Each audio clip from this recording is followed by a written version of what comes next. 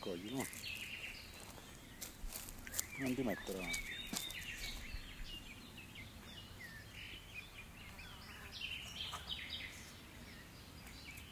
Fallo vedere. Ecco. Giralo sotto su. Mm, va bene.